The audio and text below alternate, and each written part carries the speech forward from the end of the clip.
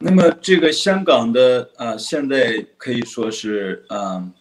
哀鸿遍野了啊。这就说是呃，某些的呃，就是港府采取的对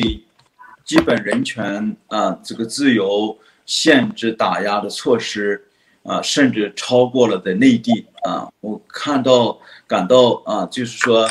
呃，在香港啊，像你刚才讲的啊，连一个老婆婆出去啊，就是说。对一个这个对香港的秩序啊和这个安全啊产生不出任何的威胁，因为即使根据所谓的共产党啊采取的这个强行塞给香港的国家安全法，也只有在三种情况下啊，所谓的分裂国家啦，所谓的恐怖主义啦，啊，所谓的这个啊对呃。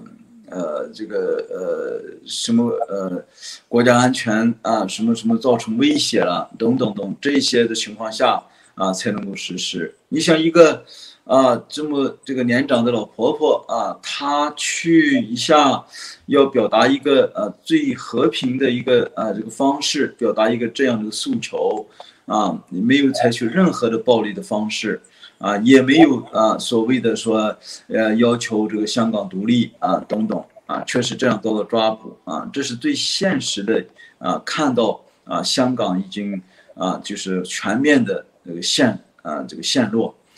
啊，所以从这个呃，香港的呃，在共这中共的几个在香港的一些呃，所谓国安机制啊，在行政在司法。啊，在立法部门啊，包括驱逐所有民主派啊，就压制、驱逐啊，逼迫使这些呃民主派的议员全部啊，就是说这个啊集体撤退啊，和这个啊 DQ 啊，把他们赶走等等啊，用这个所谓宣誓等等的名义。那么这一些呢，啊，其实都是前所未有的啊，这这个骇人听闻的，从在世界法治史上啊，尤其在香港这样一个啊，有着一个良好的啊法治传统啊啊这个啊法治机制啊呃这样一个设计这个这个城市啊啊，尤其是所谓的特别自香港特别行政区啊，是指以这个说五十年不变啊。的呃一国两制的这个机制啊，可以说现在是完全的是啊荡然无存啊，并且陷入深深的黑暗当中。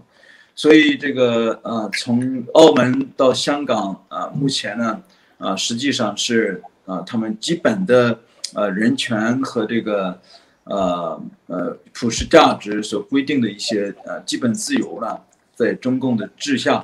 呃，目前是呃，基本上是呃没有多少存在了，啊，所以才出现啊现在这些后果啊。那么还有香港也呃马上快速的进入啊这个警察的社会，那么你会看到，就是香港居民会突然的也像在中国的维权律师，像高志胜律师啊，已经被强迫失踪啊，八月份就会是四年了。那么四年啊，就是活不见人，死不见尸。那么在香港，那么在过去的一两年啊，在这个呃和平的呃游行集会的啊，从十二啊十几岁的年轻的学生啊，到这个啊七十几岁的呃老公公老婆婆，那么他们被强迫失踪的，被扔到海里去的。被非法绑架到中国大陆的监狱里边的啊啊又有多少呢？啊，现在是数都数不清了，啊，所以啊，这是已经是一个充满啊可以说恐惧啊这个镇压和这个呃凶恶的啊一个社会，啊，我觉得国际社会啊，如果现在针对香港啊公然违反国际法，他所在啊签署的中联合声明。啊，都是在联合国啊，又有这个呃这个备案效力的，那么啊，又是啊，动用所谓的啊他的这个全国呃人大这个橡皮图章啊，迅速的呃塞给香港人一个呃这样一个呃恶法啊，我想呢呃如果这样的事情啊啊对民主派的。这个人士像李柱铭啊，这个从前还是香港这个中英联合小组这个起这个起草委员会的啊，就是基本法起草委员会的成员啊，是一个呃知名的大律师啊，也是香港啊民主党的创办人之一啊，像对这个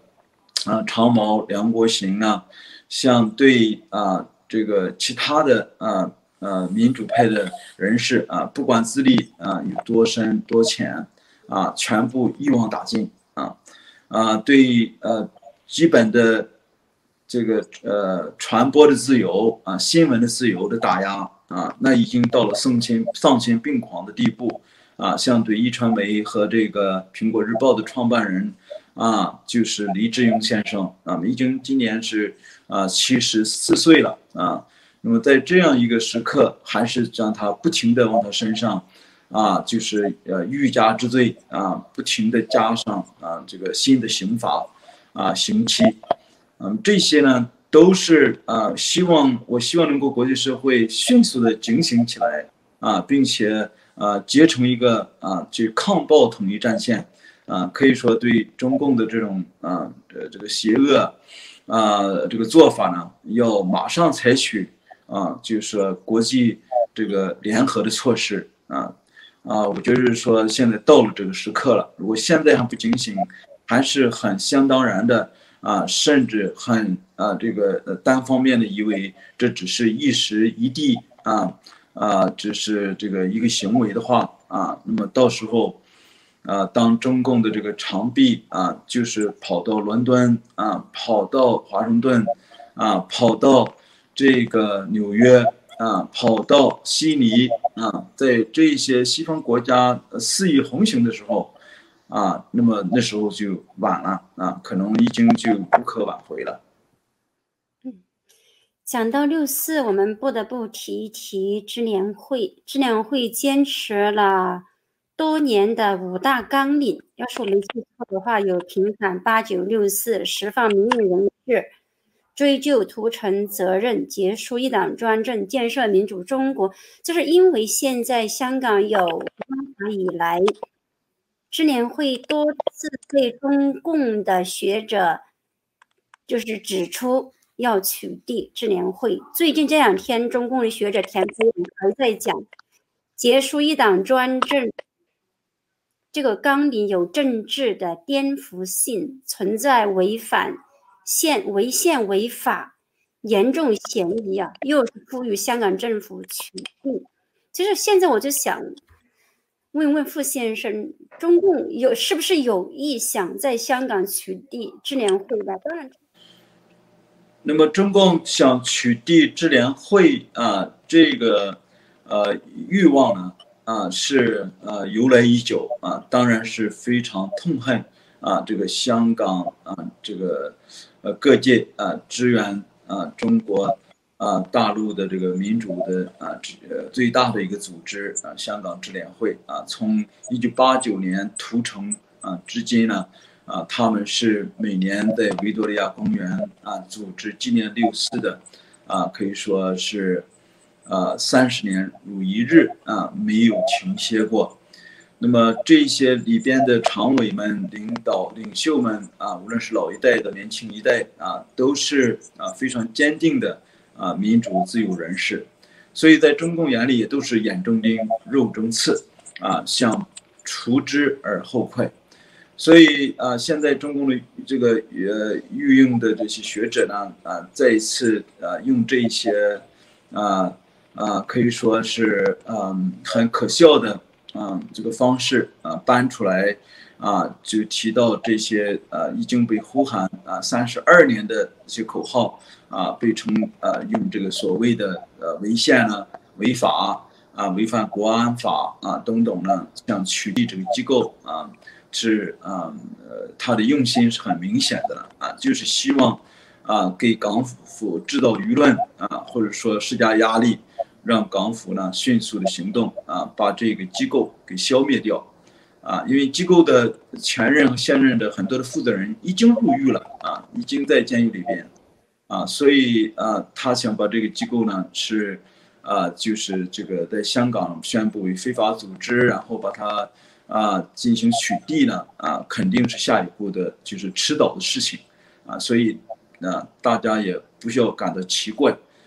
嗯，因为香港的基本的，我觉得说法治和这个啊呃制衡的系统啊，已经完全失效了，啊，现在就是一党专制。啊，就是有这个共产党的这个的中央啊，是可以说在直接啊领导这个香港这个地区，所以香港的这个呃政府的框架基本上完全由北京所这个呃直接来这个呃控制啊，所以港府这些领导人呢啊，从行政啊这个到司法到立法啊啊，其实都是呃共产党的木偶。啊，我们现在已经看得非常清楚了，他们不过是真实的，啊，就是必须执行啊中南海的呃指示的一群木偶而已，啊，没有自己的任何的意志，啊，所以现在的情况呢，啊，我们啊不需要再对他抱有任何幻想，啊，甚至都不需要再，呃，期望啊，他要能够回到，就是说一个基本的法治啊和民主自由的这个社会。啊，我觉得说啊，这个呃，很多的西方国家啊，应该啊，像美国一样啊，要重新对香港进行经济、法治和这个社国际这个贸易方面的呃规则啊，从双边和多边的机制啊，都要重新进行定位。因为香港已经不是自由港啊，那是一个独裁港啊，香港呢也已经不是一个法治的社会。啊，那是一个乱法的、无法无天的社会。那么香港呢，也不应该再享受它的这个啊，这个呃国际贸易这个税啊，这个双边、多边的这个税收的机制的优惠。那么应该是跟中共啊这个统治的大陆一样一样的待遇。啊，所以我就是说啊，还有对跟香港签订的所谓的引渡的条约。啊，现在都完全变成了不平等的条约啊！因为啊，港府既然能够啊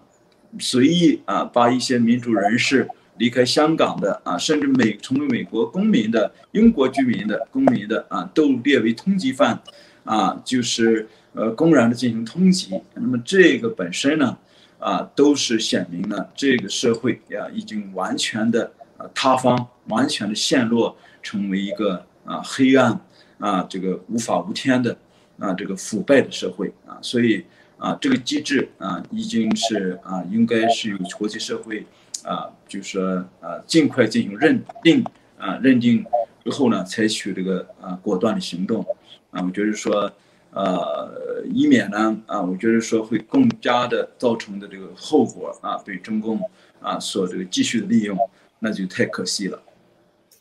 二零一九年反送中运动之后啊，就香港政府的大追捕、大清算吧，抓了一万多的人，有六百多人告暴暴动罪。去年一年就多了四百多人进监狱啊，香港这边。那现在大家看的是最清清楚，就是国安法实施以来呢，也抓了一百多人，五十七人被告国安法。现在。还有很多人在被起诉之中，像傅先生，你熟悉的可能何俊仁，呃，李卓人呢？现在真的他们已经在监狱里面了。就想，对，就是说，想问傅先生，现在怎么样看香港的出路呢？香港现在的情况就是整个社会弥漫着走还是留。嗯，我是本人呢，因为我们在我跟我太太在一九九六年的北京啊，因为这个呃参与啊这个地下教会啊这个呃传福音的行动啊，建立地下教会呢就被抓捕啊，这个进了北京的监狱两个月，两个月之后呢啊又因着这个要啊对我们进行这个新一轮的抓捕啊，和我太太呢。啊，怀孕没有指标，所以啊，面临着强迫这个呃流产的这个威胁，所以我们就匆忙离开了，逃离了中国啊。当时是到了香港，啊，所以我们在香港是啊滞留了啊接近八个月啊，所以我们小孩第一个小孩是在香港出生，所以我们在香港还是非常有感情的啊，直到在香港回归到中共的手里。啊，前三天，那么克林顿总统啊亲自介入啊，将我们直接接收为美国的难民，我们才来到美国。啊，现在看到这个呃，香港这样呃，目前呢是被中共可以说这个呃强暴蹂躏啊，整个变成满目疮痍啊，操这个到这样一个呃无法辨认的程度啊，实在是令人这个扼腕痛痛心了。对，那么我觉着说，呃，一方面为香港哀号啊，另一方面呢。啊，我们也要啊，不能够丧失信心啊。就是说，呃，就像中共对呃中国的这个教会打压一样啊，在过去啊，一九四九年的时候啊，中共这个夺取政权，那么呃呃就开始对教会进行打压。那时候教会啊，中国基督教的这个呃新教人数才不到这个啊呃八十万人，那么。啊，七十年的共产党的这个呃这个残酷的呃镇压啊，虽然有时候稍微呃重一，有时候稍微轻一点啊，有时候是更重一些。比如说文化大革命，比如现在习近平的之下啊，都是最严重的时期啊。但是呢，基督教的教会啊，基督教会并没有被消灭，反而有了茁壮的成长啊。现在是到了一百倍的成长啊，一百多倍的成长啊。根据普渡大学的。公布的这个数据的话呢，那么中国基督徒的人数啊，现在啊肯定超过一亿到一亿三千万人，那么这个就是一百到一百三十倍的增长，啊，所以呢是这才是中共搬起石头砸自己的脚。那么香港的政治经济那现状呢，啊，使我们国际社会和良心人士都感到担忧啊，这是一个现实啊，确实是中共。啊，把这样一个啊弹丸的小港呢，这个这个港口现在完全置于他的手心之中，啊，就是用他的这个警力、暴力和呃这个军力啊进行呢，就是呃全面的控制和打压，呃这个监监督，呃这个监视啊，成为呃可以说是一个呃完完全变成了个警察的社会，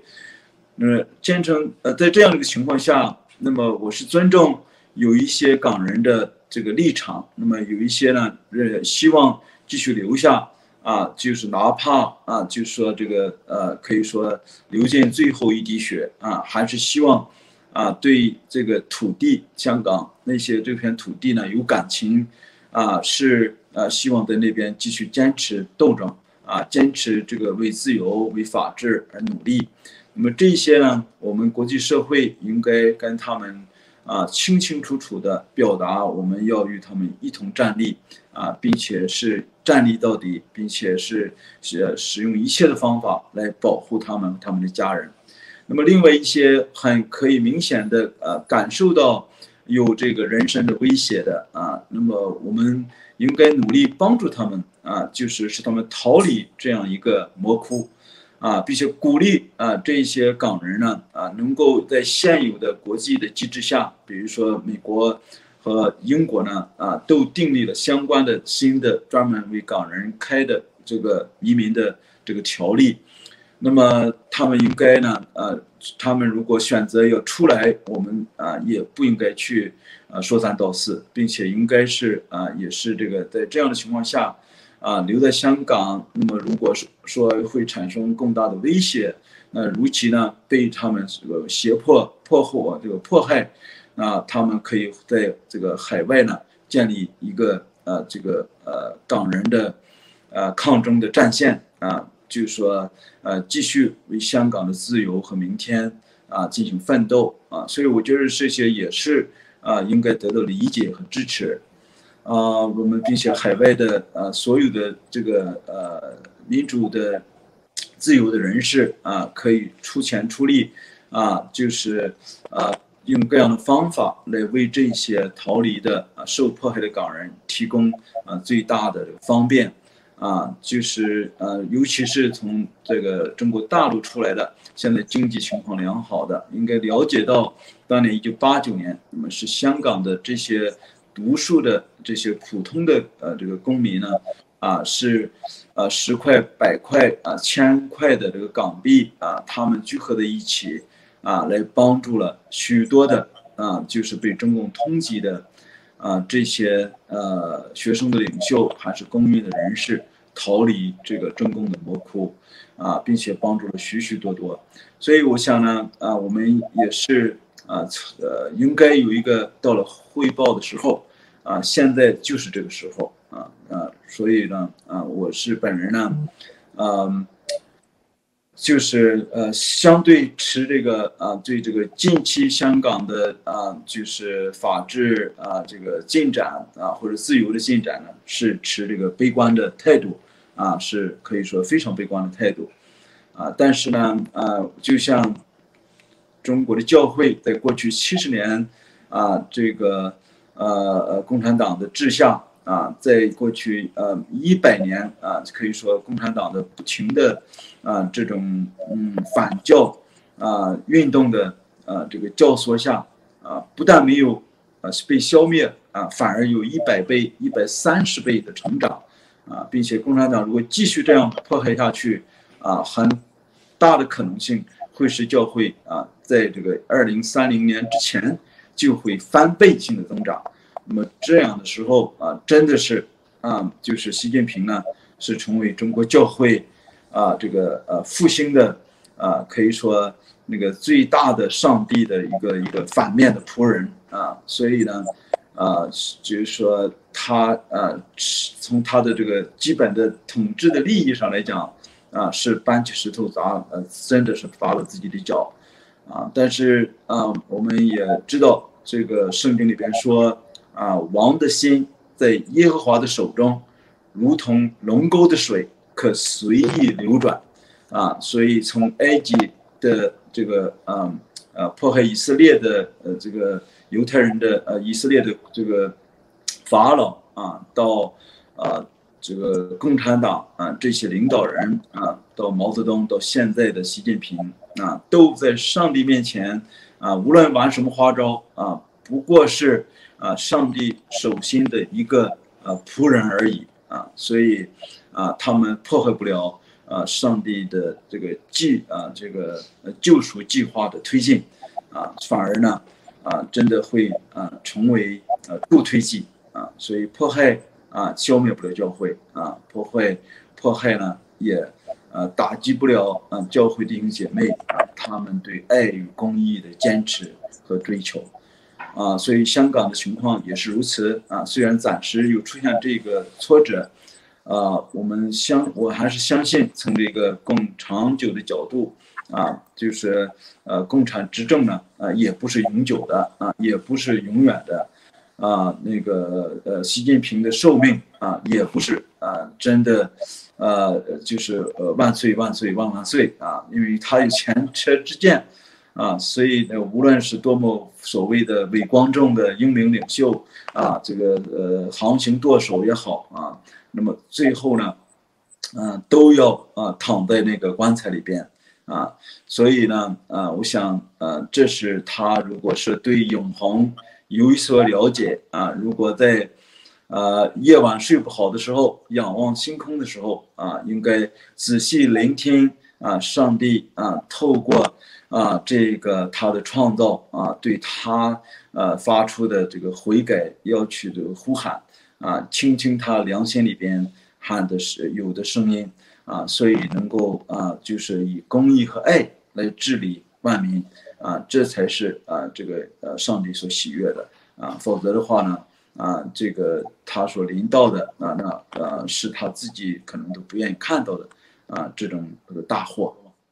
嗯，我想问最呃一个最新的消息，就是中共政治局。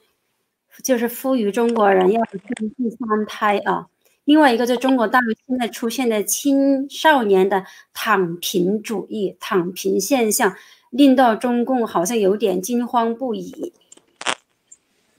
对这个两个东西呢，实际上也都是有一些联系的。那么我们知道，从中共从这个八十年代、七十年代末、八十年代初啊，强行啊实行所谓的这个计划生育政策。呃，从全国啊建立啊这个计生委的机制，一直到从中央到这个啊村落啊都有计生的这个这个委员啊存在。那么它啊实际上它的前提本身啊就是一个。反人类的啊，并且呃，从我们基督徒的角度啊，普世价值的角度，也都是啊，这个是呃，这个反对圣经的教导的，也是呃呃反对呃生命权的啊，因为儿女是耶和华的产业啊，上帝让赐给我们生育啊，这本身啊是一个呃极大的呃，就是一个喜乐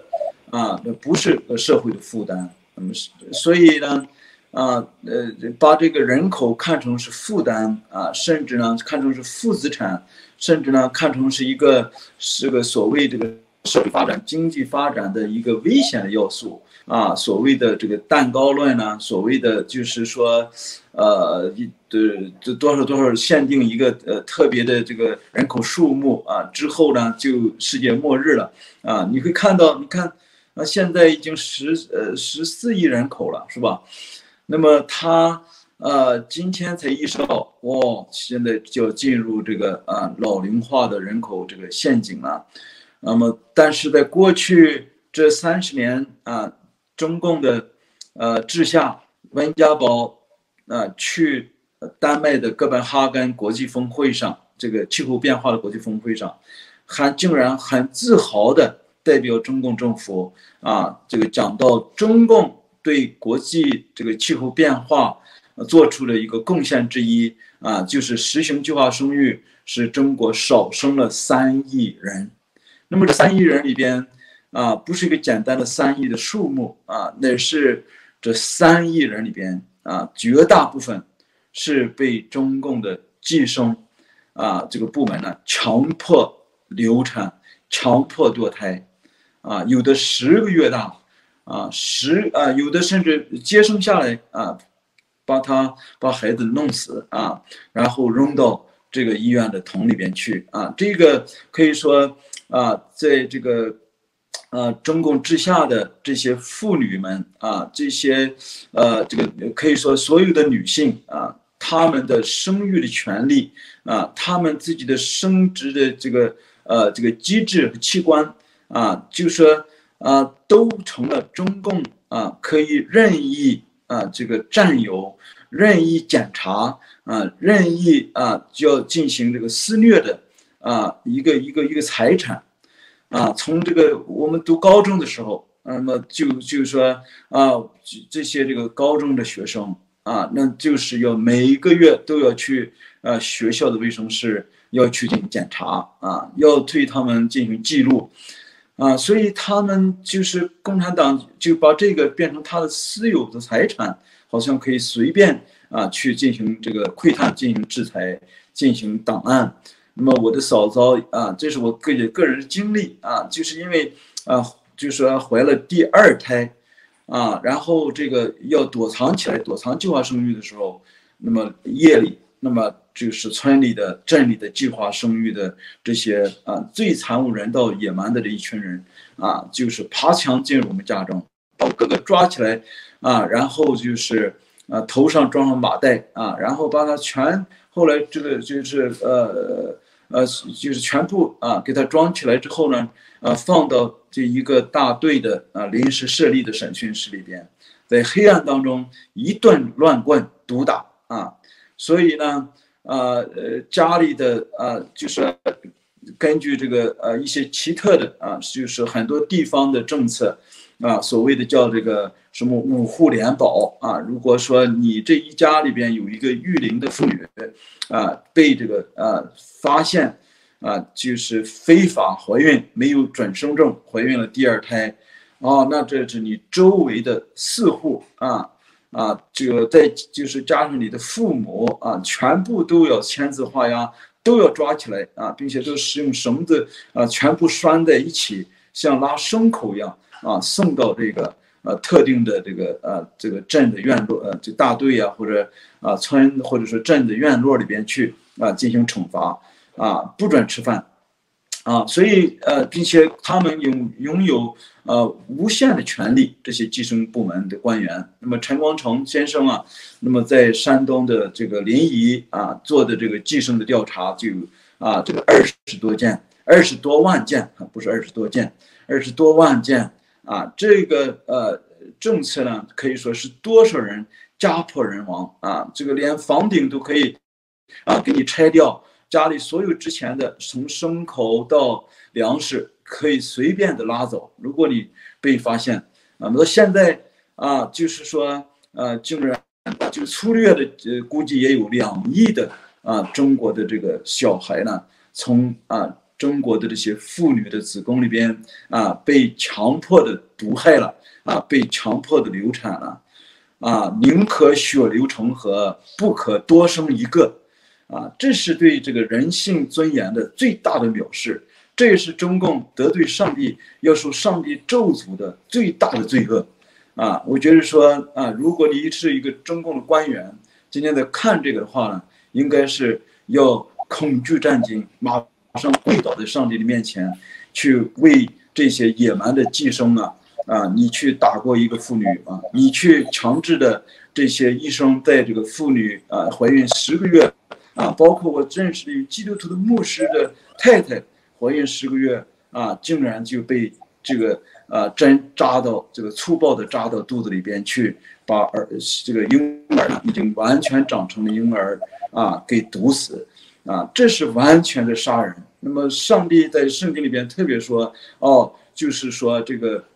啊，这个那是这个流人血的，他的血也必被啊人所流，啊，所以呢，啊，这个是一个呃最大的暴政。如果是人类的这个二战之后，可以说二十世纪啊最大的这个人权的灾难啊，其实还不是像现在的。啊，这个呃，就是在新疆的集中营。当然，真正的集中营现在也开始实行野蛮的寄生，也是有呃，这个确实是种族灭绝啊。但是在过去的啊，中共之下的这个野蛮的计划生育，那才是最大的人类历史上应该最大的灾难啊！你想是，就是说，就是说这个残杀的啊，这些无辜的啊，这些都还没来得及哭喊的啊，就能有几针的毒针呢啊，就扎到里边。啊，然后我有时候要跟这些计生办的，呃人呢，都要这个在岳阳谈判，哀求他们啊，请他们这个手下留情啊，才救出啊一个小孩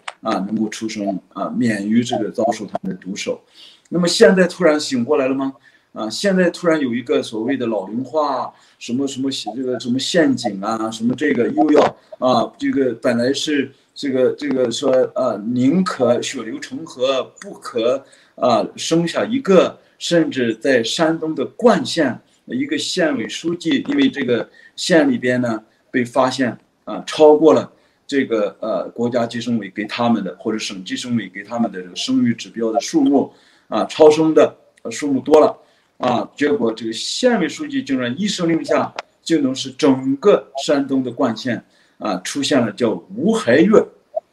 没有孩子的一个月，就是这一个月，山东的冠县所有的大街小巷啊，都是马上就是临时扎起来的，就是啊，对妇女进行流产、强制啊流产啊结扎的这个小帐篷啊，见到妇女啊，见到女孩啊，都要呃可以随意的拉过去进行检查。啊，一旦发现有任何的迹象有怀孕，马上啊进行斩杀，马上进行这个呃强迫堕胎，啊，一个月不准生一个小孩呀，啊，你想这种野蛮的这个方式，人类历史上啊也只有在这个耶稣的时代啊，在尼禄啊，在这个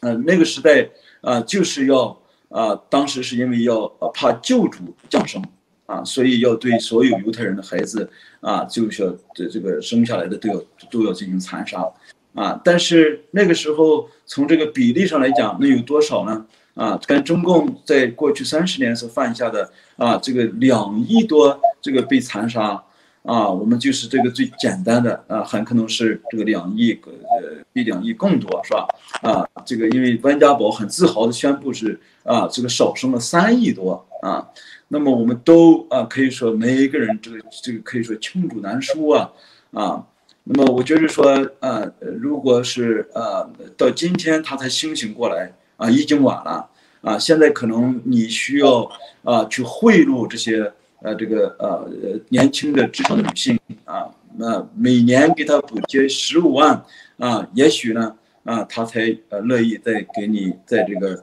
呃所谓的增加一个新的这个劳动力啊，并且还还是出于呃这个是由中央政治局来决定啊，一个无神论的中央政治局政府来决定啊，妇女和这个新婚的夫妻啊生多少，怎么样生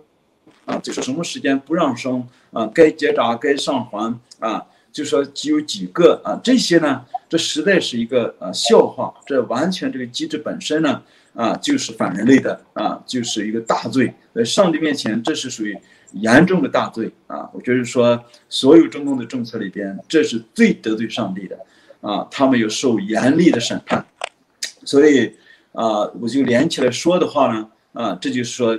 目前的这个情况下啊，在这个所谓的躺平机制啊。躺平一族的话呢，实际上啊，就是愤世，呃，不是叫，就是去掉了愤世的，啊，就是一种这个呃庸碌啊，可以说，呃呃，就是就是无争嘛，啊那么呃，就是这个无中的享乐啊，这个这个这个这个呃，这个是享乐主义的体现。那么就是也就是说啊，他不想对整个的社会的机制再进行反应了。那么共产党，你就是再给他钱，可能他都，啊，就是无动于衷了啊，因为钱啊，最终呢还是要被割韭菜一样啊，全部给你养肥了啊，这就就是收割啊，该杀的杀啊，该割的割，割了一茬啊，不行再割第二茬啊，你看这个啊，从王健林啊到马云啊，他们的下场啊都是如此，从富的到穷的。啊，从农民啊到工人啊，从学生到教授啊，全部都是一律，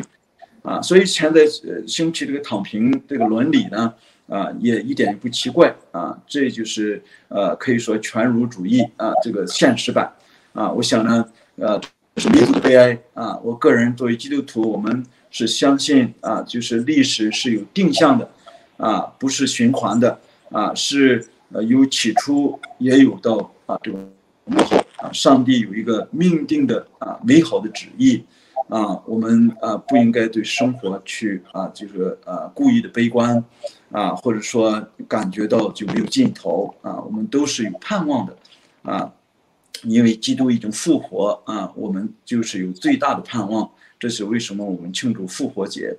啊，所以啊，当然生活在中国啊这样一个无神之下，并且。啊，任何一个小官，从啊村长到城管啊，都可以啊决定，不仅仅是你自己的生计的问题，可以决定你的生命的问题，啊，决定你的生死的问题，啊，这令你啊会有多大的悲哀？所以我也完全理解啊这个躺平的这个呃这个伦理啊躺平的这个做法，这也是共产党啊可以说他整个的毒文化啊无神论的文化。啊，把整个一代的中国人啊，全部啊，就是给这个陷落成啊这样的一个一个一个伦理啊啊，所以我们为中国哀哭啊，但是呢，我们啊要用我们的这个心力啊，来去为中国抗争啊，为这个啊可怜的没声音呢，在这个状态之下呢，啊，我们啊要去。呃，竭诚的努力啊，来啊，使他能够有更大的救赎才行啊。所以我也呼求这个啊，躺平族的呢，还是要啊，睁开眼睛啊，看看啊，你眼前的鲜花啊，你天上的这个星空啊，他们呃，地上的生动物，他们不种也不收啊，上帝尚且养活他们。啊，你们是按照上帝的形象和样式而造的人，啊，永远啊不要失去盼望，啊，然后呢，有什么啊，大家应该联合起来，啊，还是啊要对这个集权、对不义、对不公要说不，啊，不应该去啊，就是说变成愤世嫉俗啊，甚至呢啊躺下啊平下啊，因为这不是出路啊，这个对你的后代啊都也是不负责任。啊，好，我想就说这么多。嗯，那我们今天谢谢傅先生了，谢谢你啊。嗯，说了很多，嗯，今天。说谢谢你啊，傅先生。好，再见。好，谢谢，哎，晚安。对，嗯，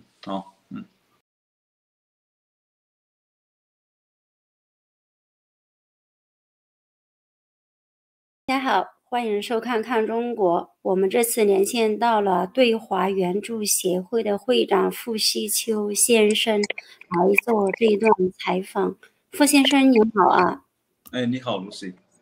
是，都知道美国永久居民王靖宇因为在杜拜转机的时候被怀疑被中共拘捕。嗯，王靖宇因为就是质疑在中国跟印度边境冲突的时候阵亡士兵的说法，就被中共盯上了。他现在他的发展情况是怎么样？因为我们知道，呃，傅先生你有帮助营救他。呃，Lucy，谢谢你那个关注这个王靖宇先生的境遇啊。那么王靖宇先生目前最新的情况呢，就是说。可以说是一波三折了。那么也就是说，呃，开始的时候是在啊去土耳其啊，就是转机要啊往美国纽约啊走的路上，结果在这个杜拜机场呢，啊阿联酋的这个首都杜拜机场啊被这个呃中共啊可以说是联合了阿联酋这个国家呢。啊，在国际转机通道啊被绑架这个拘捕，那么目前呢，很明显是啊，从中共官方的一些啊发布的言语上、文字上都已经证实了，这是中共的背后的操作。那么听到这个消息之后呢，我也是非常着急，因为如果任由中共的啊这个在境外这个呃滥。滥法吧，啊，就是滥用这个境外的执法，啊，那就中共的长臂啊就会被国际社会呃容许啊这个继续伸的就更长，啊，所以在这个情况下呢，我就迅速的联络了啊，当然是啊美国啊包括白宫国务院的高层啊，希望啊呼吁他们啊立即要介入啊做高层外交的努力。啊，绝对不能让中共再把一个啊这样一个啊年轻的啊这个自由的呃这个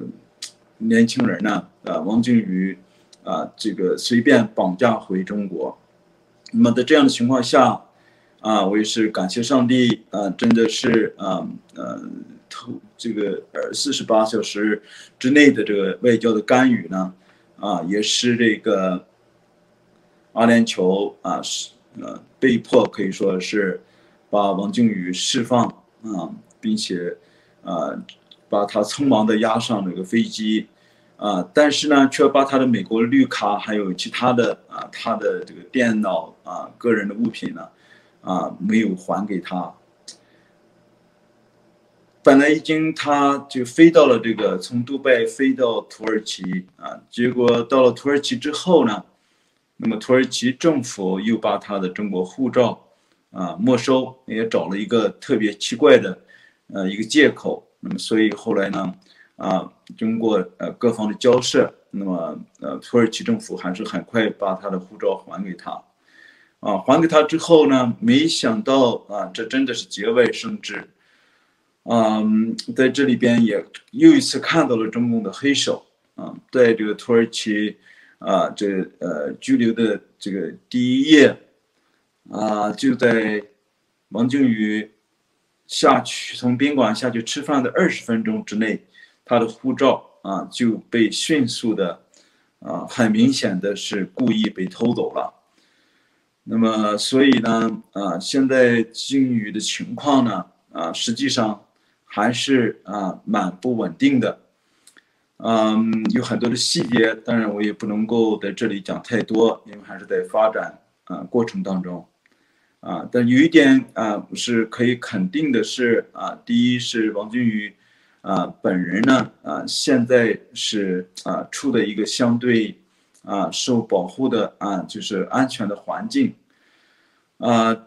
中虽然没有脱离完全的危险，嗯，至少呢啊就是说我们。啊，许多的朋友们啊都在协助他。那么第二点呢是啊，美国方面，因为他是美国永久居民，那么现在呢是啊已经答应啊，就是采取一些啊这个非常具体的步骤啊，帮助他能够啊尽速的，就是返美啊。所以目前呢啊，我们这个呃正在做的就是这一些。那么我也看到今天啊，就是中共的外交部发言人啊，也有一位印度的记者啊，特别提起王靖宇的事情啊。进一步的，以从中共的外交部发言人的嘴里啊，也证实了，那么那个中共的呃安全部门呢，是在这个呃密切的研判和追踪这个王靖宇啊，所以啊，王靖宇的处境呢啊，我们还是不能掉以轻心，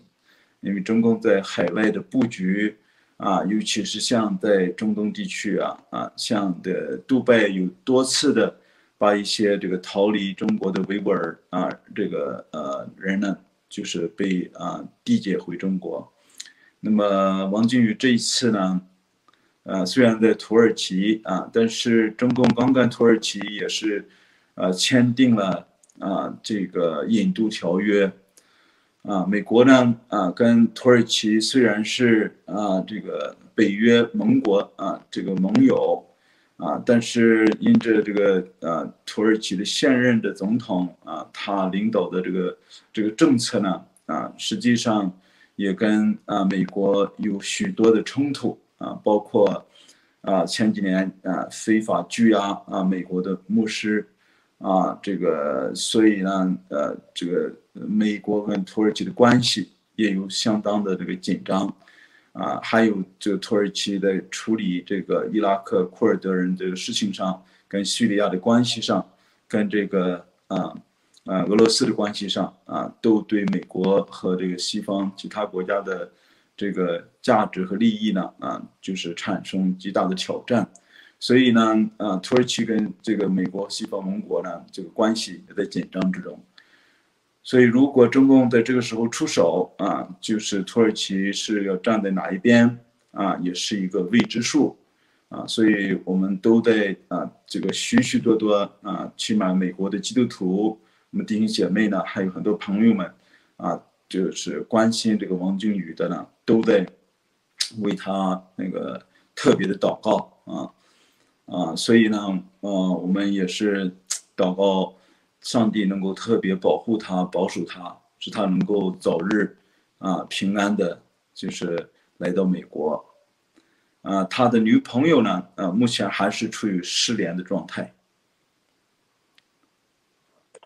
嗯，现在美国政府已经介入了，就是你刚才也讲，他可能还没有完全的脱离一个危险的状态，是吗？是的，他还没有完全脱离这个危险的状态。嗯，那有没有说乐观一点讲，预计他未来这几天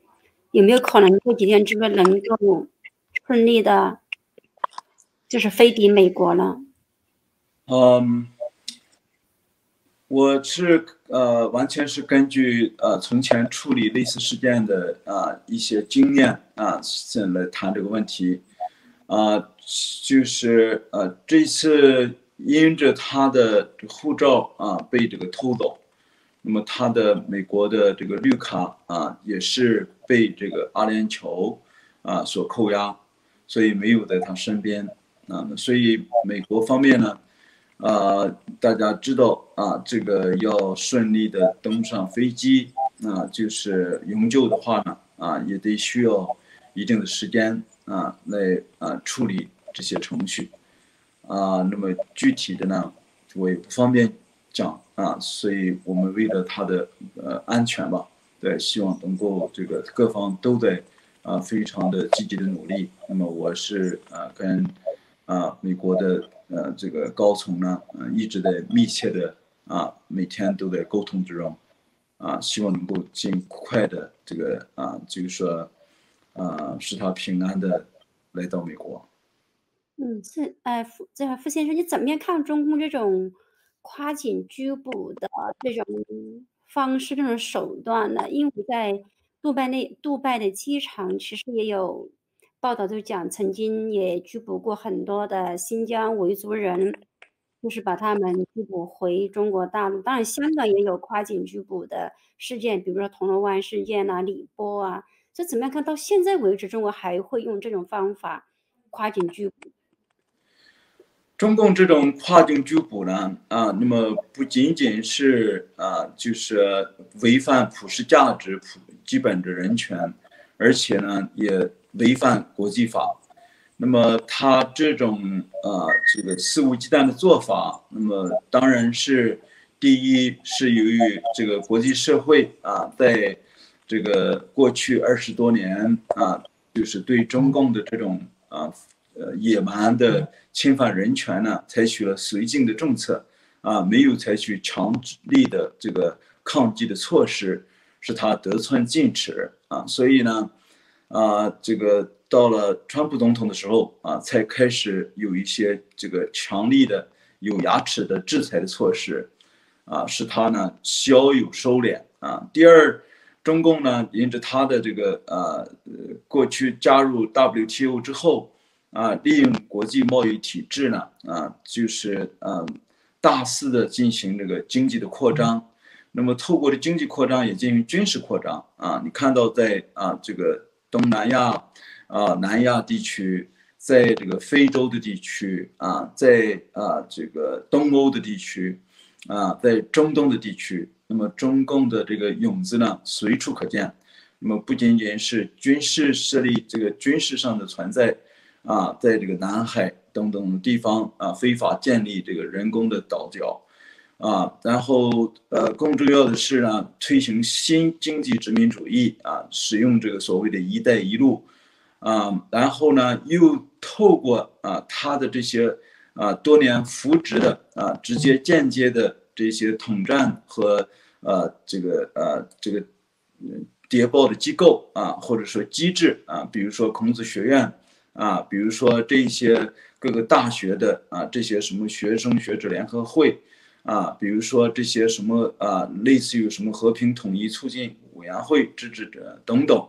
那么他所扶持的这些所谓的呃社团，啊，再加上啊，利用美国左派的媒体啊，这种对啊这个社会主义和共产主义意识形态的啊这种吹捧啊，所以呢。全部都融合在一块儿啊，实际上是导致了今天啊，中共呢在继续的肆无忌惮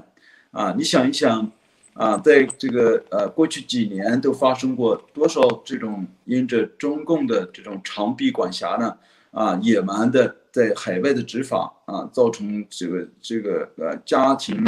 啊这个呃这妻离子散啊，像在啊呃呃泰国啊。就这个两对夫妻啊，江野飞啊和董广平啊夫妻啊，就是就是啊两人啊两个家庭呢啊都被加拿大政都被联合国已经认定为难民啊，并且被加拿大政府加拿大政府已经接受啊，但是中共可以啊却是啊使用这个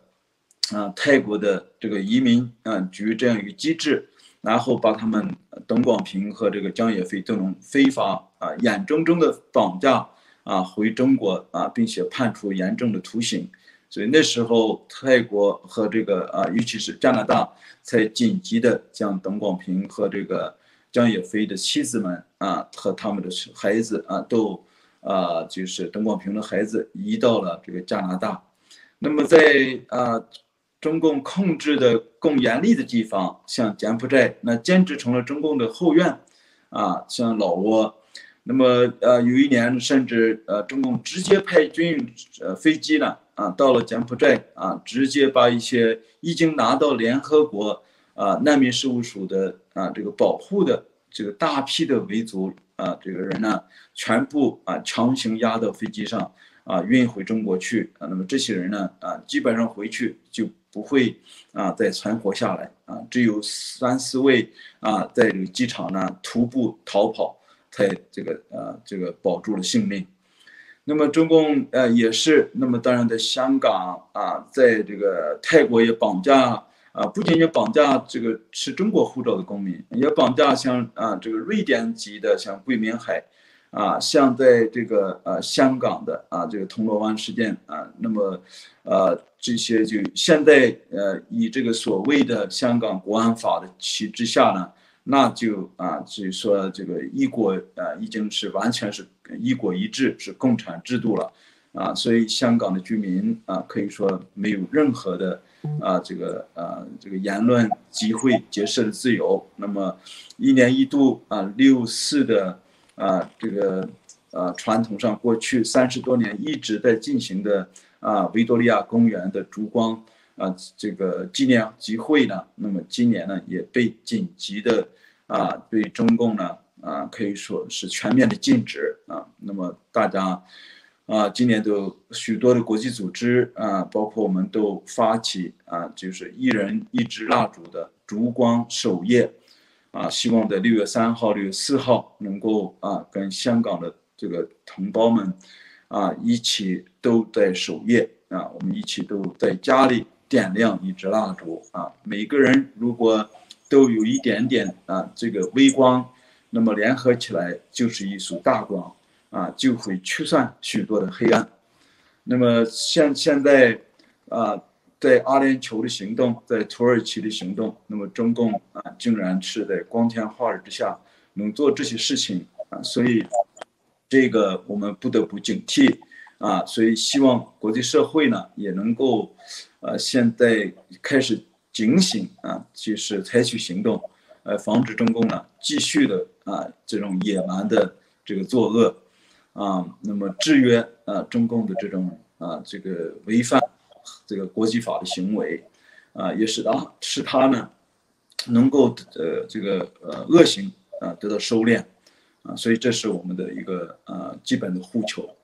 你提到了中共长臂管辖、长驱直入这种的手段，现在比以前更厉害呢，还是说在现在国际围堵中共的情况下，还是有一点点有所收敛呢？或者说它的前景又会是怎么样呢？现在是呃，当然是在这个呃过去的呃这个可以说十十几年十年吧，应该说，啊，它是越演越烈啊啊！但是从川普总统啊这个政府开始实施一些一系列的啊对中共的这种长臂的管辖呢，呃，海外野蛮执法啊这种这个嗯措施啊。啊，无论是行政的，像还是司法的，还是立法的措施，啊，那么呃，这个美国是全方位的啊，对中共的这种啊违反基本人权啊，违反这个呃国际法啊的做法呢，进行了这个呃抗击。那么是，所以在过去几年呢，啊，是很明显看到有所收敛啊。那么尤其是在美国的活动啊，它受到了很大的制约。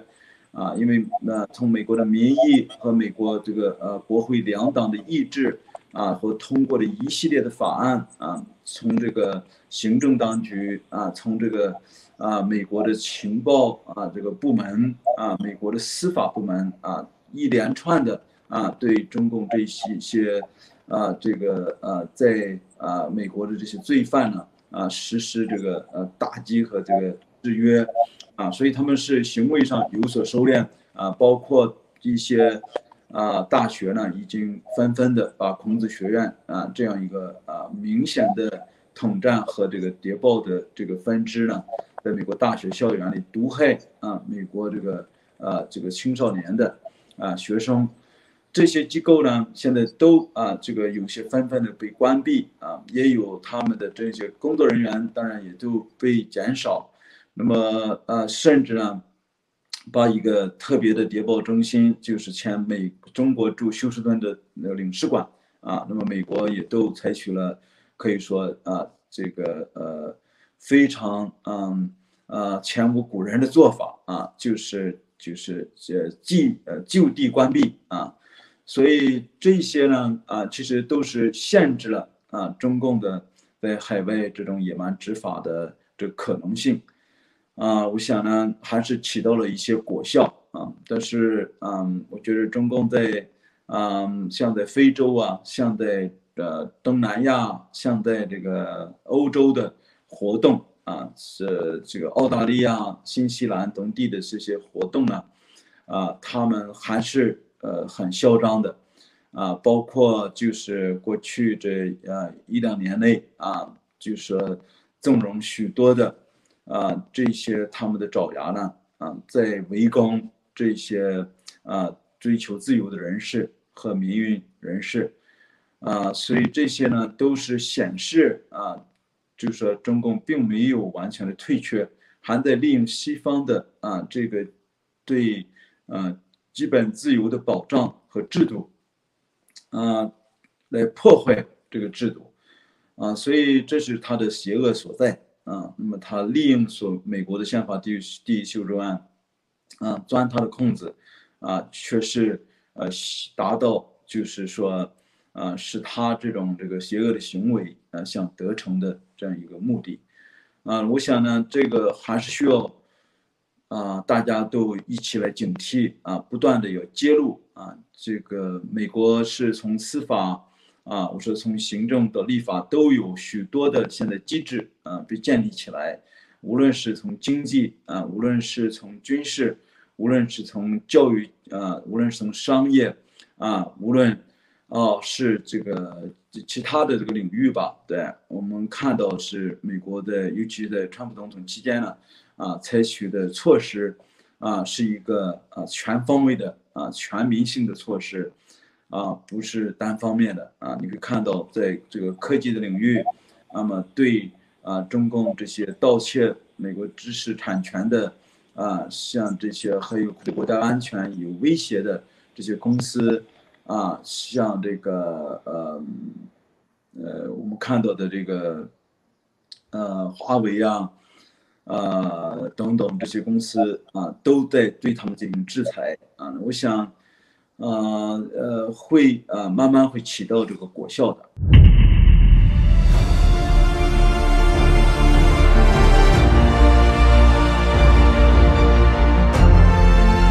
加入荣誉会员。和我们一起守护香港，守护十四亿中国人获得真实资讯的权利。